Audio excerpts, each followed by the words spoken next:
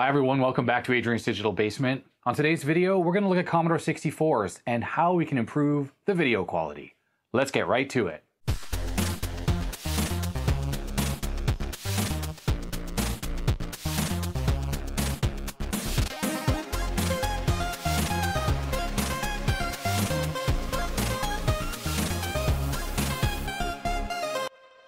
So one of the things that makes Commodore 64s great is their great graphics capabilities, especially compared to its contemporaries in 1982 when the machine was released. When Commodore released the 64, they did something that's pretty nice and they included the RF modulator on board, but they also included a video port that allowed you to plug in an external composite monitor or on all Commodore 64s starting with this board revision and onwards, you could hook up a monitor with chroma and luma signals.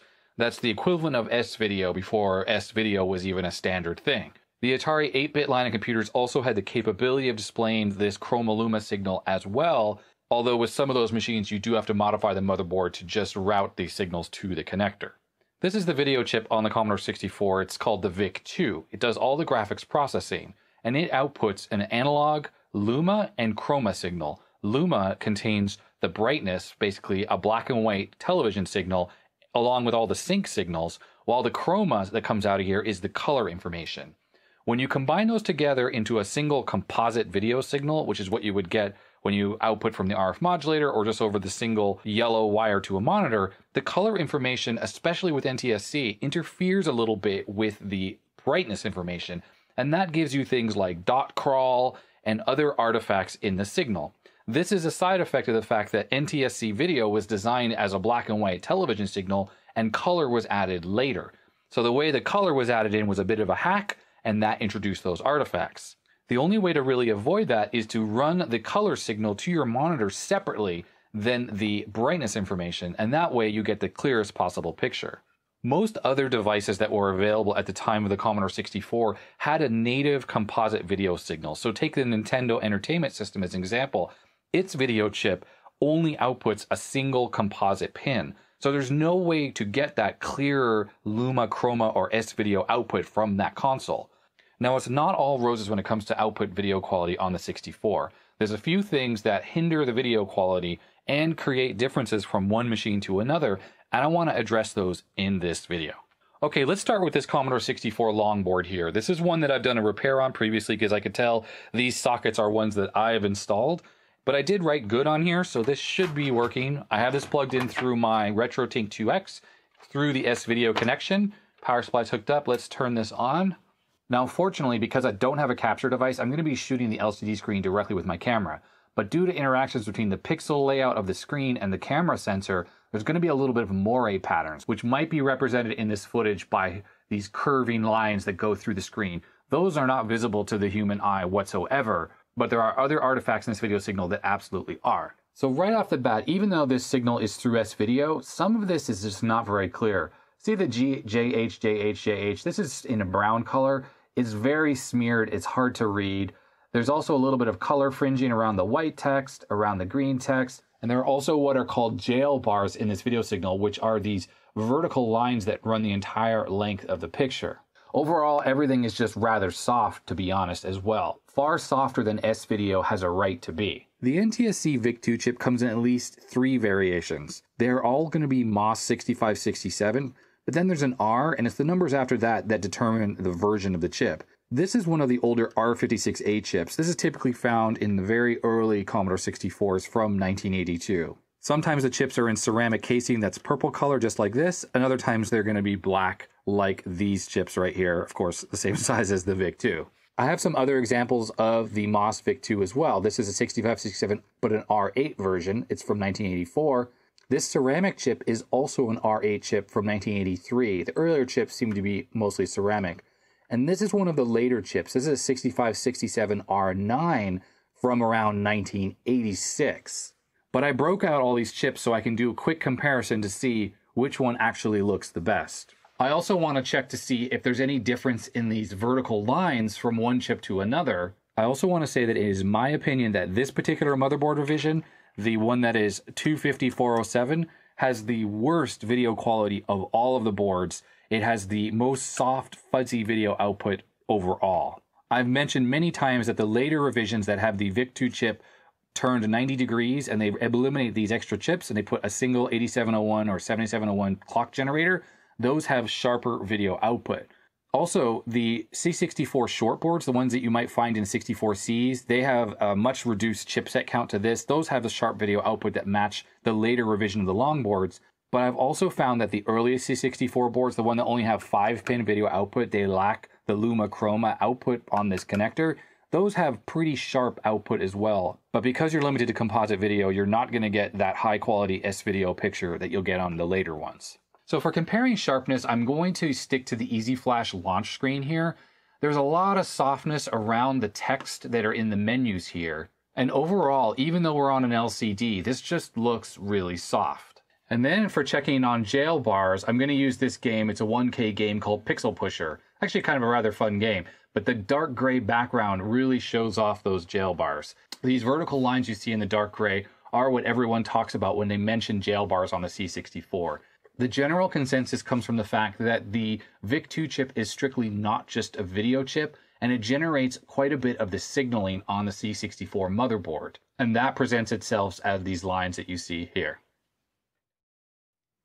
All right, I've locked the exposure and let's run through all of these different VIC chip versions to see if there's any difference when it comes to the jail bars. Also, take note of these little dots that are within this black area here. They look to be green and orange, but let's see if those look different from one revision of the chip to another. Okay, next up we have the Ceramic 6567 R8.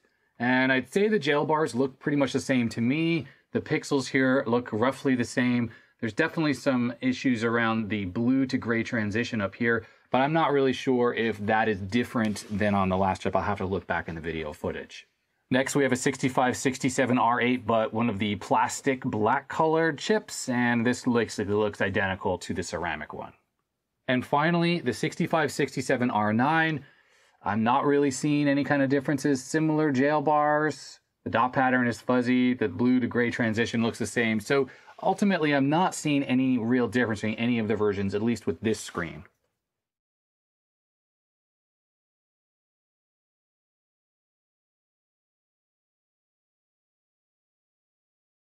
This is the 6567 R9. I don't see any color fringing around any of the text. Everything looks really good in that respect. It is very soft though, but that's not the fault of the VIC-2. That's going to be the fault of this particular 64 board revision and the RF modulator. But yeah, overall, looks fine. This is the 6567R8. This is the plastic black color chip. And again, looks totally fine. There are some slight jail bars visible, but typically jail bars are worse on the darker colors like this blue right here or that dark gray on the Pixel Pusher game. This is the 6567 R8, but the ceramic version, and it pretty much looks the same as the R8 plastic version and the R9. Finally, we have the R56A. I'd say from a sharpness perspective, it's pretty much the same. Maybe it's ever so slightly sharper, but I'm not quite sure about that. I, I think the biggest difference to me is that it's less color saturated than the other three chips.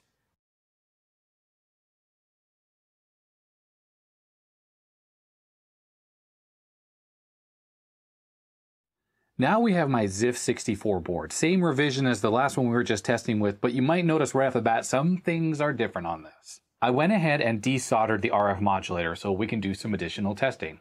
In place of the original RF modulator, I've temporarily installed this little amplifier board. I actually don't know where this came from. I think I bought a Commodore 64 once. It came with some additional parts, and this was in the bag. The back of the board here says VIC-2 amplifier bypass, I have no idea where this board came from. When I Google for it, I can't really find any information. So if you know about this particular board, put it in the comment section below and let me know what this is. But looking at the top, it was kind of obvious the way it hooked up. There was 5 volts ground, which was oddly marked as minus 5 volts. And then there was the Chroma Luma input from the VIC-2. And then on the output, there was the Chroma Luma output for the S-Video, but also composite output, which is what the RF modulator does do. It combines those signals together to create a composite signal. This particular board has, looks like four transistors on it, and because of that, it needs 5 volts to run. So I ran the 5 volt line down to this capacitor. The capacitor's 5 volts was actually coming from this particular 5 volt linear regulator, which is probably the cleanest power available on my C64. Most likely it's cleaner than the 5 volts coming in off this because this is hooked up to a switching power supply on the other end of this cable. It's one of my homemade power supplies. Now, under the VIC-2 chip on this motherboard, you have what's called a LumaFix board.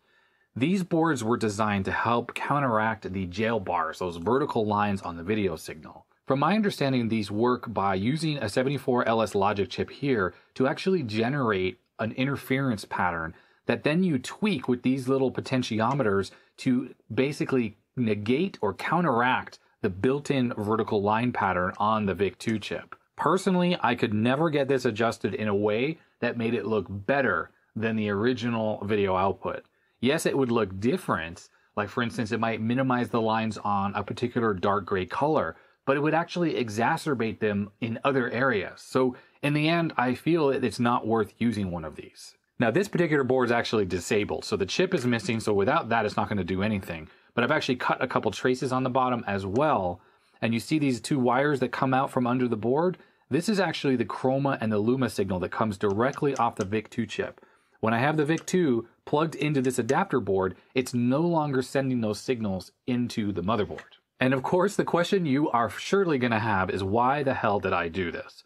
I ran these wires and I connected them directly up to this amplifier board. On this particular motherboard design, the Chroma Luma video signals go down onto the motherboard and then make their way over to the area where the RF modulator is. It passes by this clock generator circuitry here.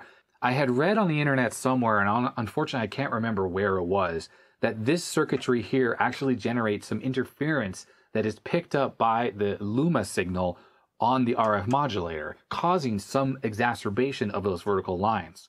While I can tell you on this particular motherboard revision, bypassing the Chroma Luma traces on the motherboard and running them externally have no effect on the jail bars whatsoever. So I'm going to reconnect my little amp board directly to the pins here, which is the Chroma Luma output from the motherboard traces.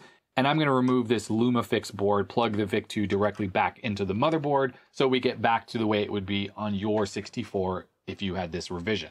Incidentally, the way I hooked up this bypass is it's going to be hard to see on this camera, but I cut the traces that run from pin 14 and 15. That's the Luma and the Chroma signals. I ran it out these jumper wires, and it's no longer hooked up to these pins that go through onto the motherboard, or any of these other passives over here that are for the LumaFix board.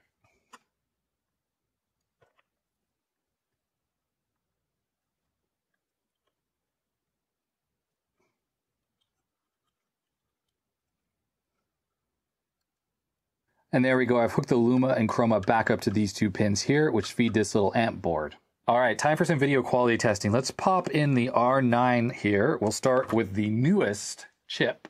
And wow, I'm really blown away. Immediately, even with the text here, it's so much sharper than it was with the original RF modulator in place. Now I've gone ahead and typed out the same JKH pattern with all 16 colors of the 64, and right off the bat, it's amazing. The difference is shocking. The clarity and sharpness is immediately apparent. And it's not perfect. I mean, the brown color is still a little smeary and the red is as well, but it seems to be much better than it was. Let's do a comparison to that first shot. And here we are at the Easy Flash 3 menu. And again, the sharpness improvement is unbelievable. It's of course an analog video signal going through an up converter, so it's not going to be perfect. But just the fact that the pixels are so much clearer and the space between the two pixels, like in the word club here, between the L and the U, you can very clearly make out those are yellow pixels in there.